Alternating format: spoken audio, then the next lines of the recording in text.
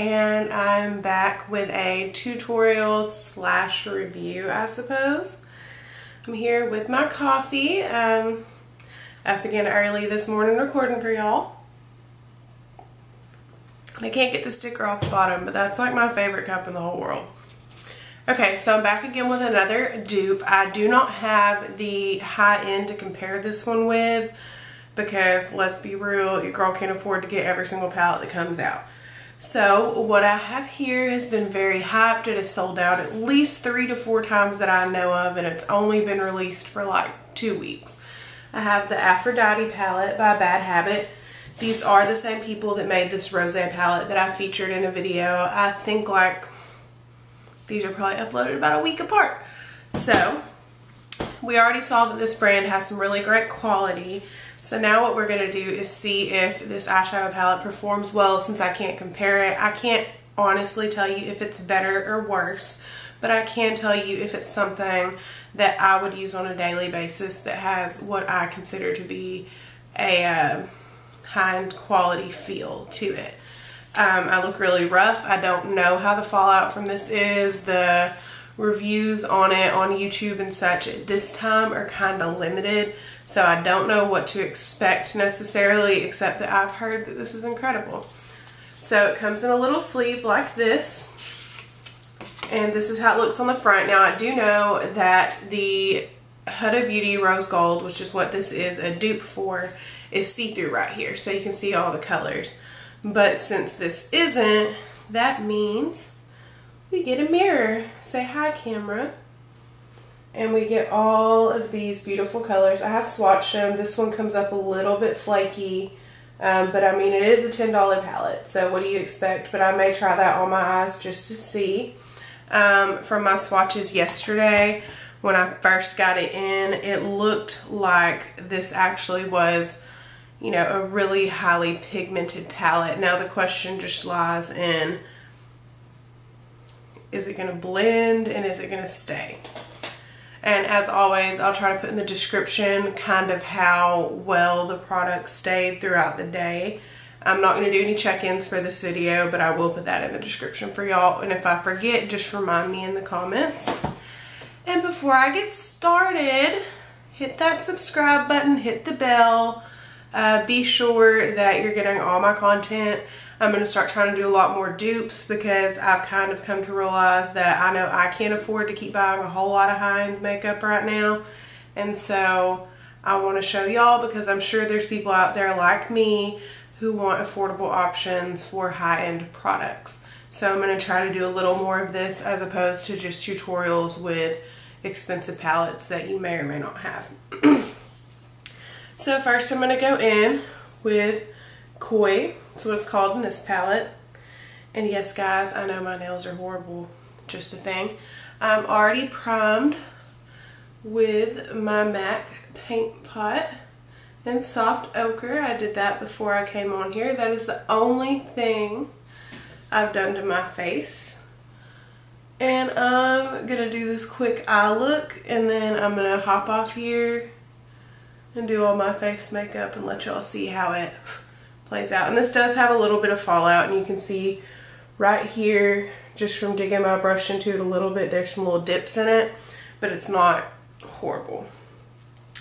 Okay, so what I want to go into next, because for work yesterday I did a red eye look, so I don't want to do it again today. Um, next, I'm going to go into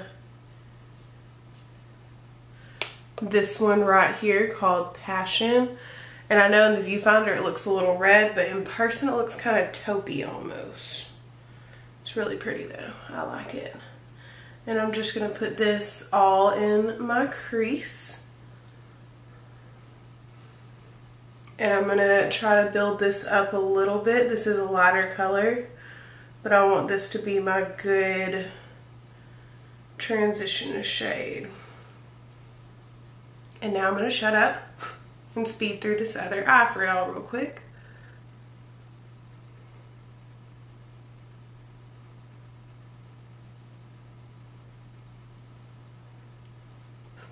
Okay, um, so next I want to dip into I don't want to do a red eye look again today, but like I really kind of do. Mm. Yeah, I'm just going to do it. Okay. I'm going to dip into Jealousy next. And just so y'all can know, I am going to try to cover a lot more of this brand in particular. I find their dupes to be really good. Um, I need to know what y'all think. They're coming out with a dupe for Subculture. And since I do have that palette, I kind of want to do like a comparison on the fallout, the quality, the blending, and all that. So let me know what y'all think because that's a video that I'm actually really interested to find out how it looks. They also have a dupe for Moonchild on the app and the Alice in Wonderland palette, which I also have. I've just actually never used it. So let me know if you'd like to see that down there. Which one you want first, because even though they're cheap, I'm still on a budget. Oh, what did I say? Okay, yeah. I'm to put Jealousy in my crease, and I'm going to be quiet, and I'm going to speed this up so we can get through this video.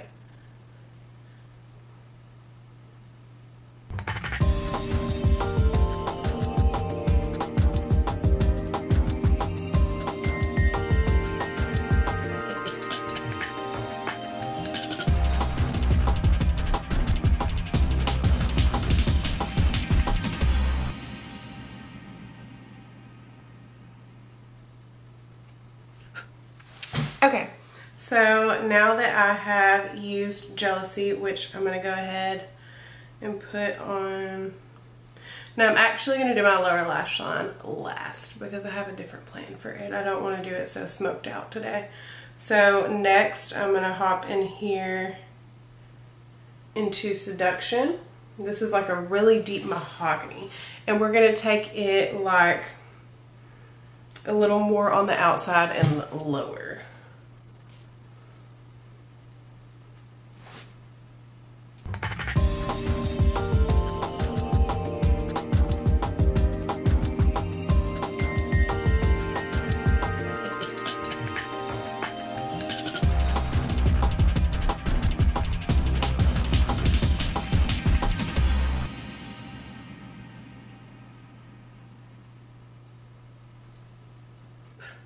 Okay, so what I'm seeing is that this is actually blending out pretty good.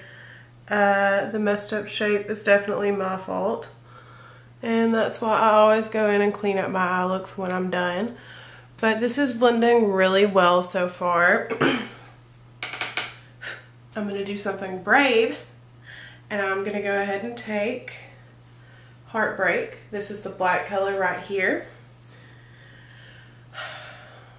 And I'm just going to dip it into the outer corner, or well, that's what I'm going to try.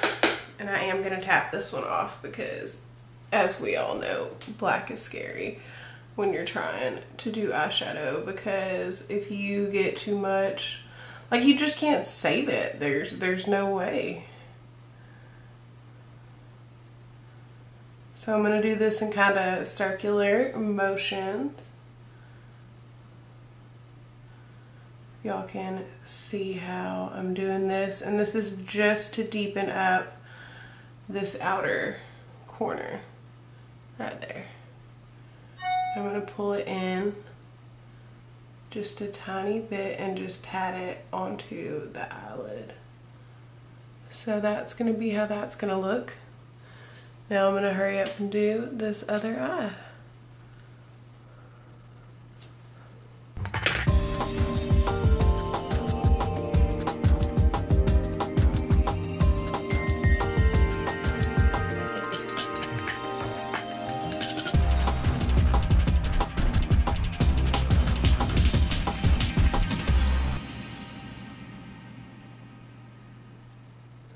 I'm really struggling on this left eye, and this is nothing on the palette. I just, I can't even see to do this right now. I think it's just too early. I'm adding more black because that'll totally fix the problem.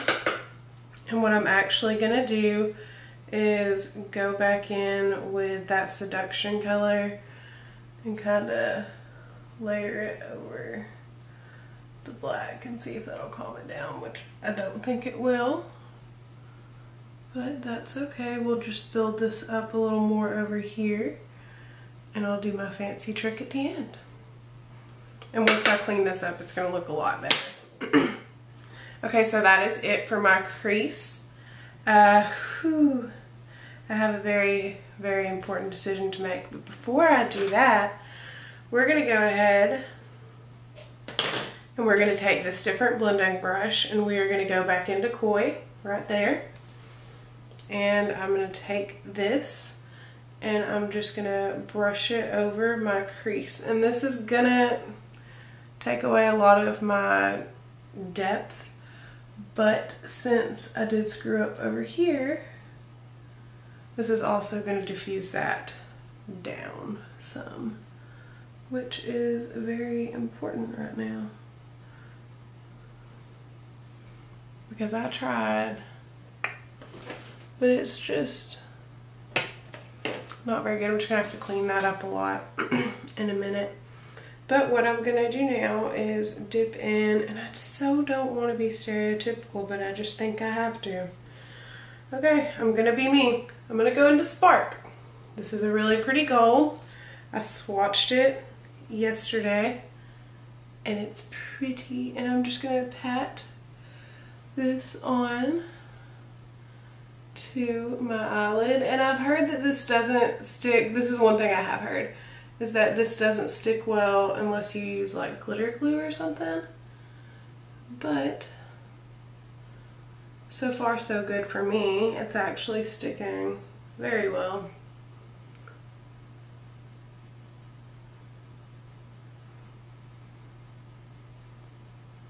and this is just something I always do if you're big on using brushes, that's fine. But to me, whenever you're trying to lay color down on the lid, especially a glitter, it always works better for me if I use my finger. But yeah, that's that's super pretty. okay, so I'm gonna go in because since I diffused that, I lost a whole lot of my pigment on my right eye here. And I'm going to go in and deepen that up a little more again.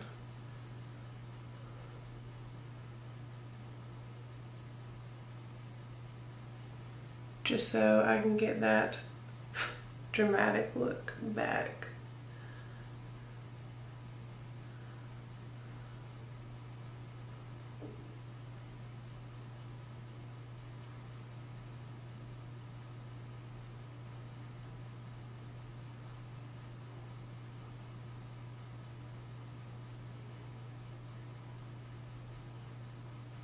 And I'm going to try to blend this a little bit over here just to get rid of the harsh lines that the glitter kind of made. And the last thing I'm going to do is dip into Tease. That's right here. Ooh, did I just I almost gouged out my little beauty color. And I'm just going to take Tease on a flat brush and I'm just going to put it right up here. And I'm not going to really do my eyebrows today. I'm just going to fill them in a little bit. And I'm going to take Tease on my finger to put it into my inner corner.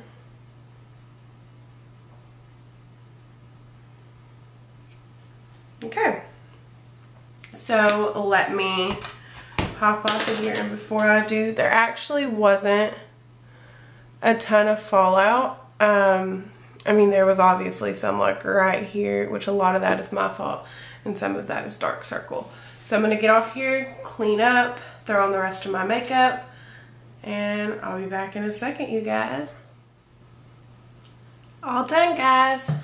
Um, so I just went in and I did my foundation, contour, highlight, lips, concealer, all that stuff. No lashes today because I'm just going to work, but I use some on Big mascara, which is good. The only downside I have to it is how hard it is to get off. I have a video on that somewhere farther down on my channel.